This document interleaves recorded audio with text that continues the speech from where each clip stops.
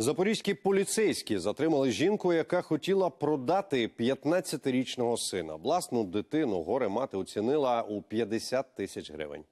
Правоохоронці затримали зловмисницю одразу після передачі грошей. Раніше жінку неодноразово притягували до адміністративної відповідальності за невиконання батьківських обов'язків. Хлопця направили до центру соціально-психологічної реабілітації.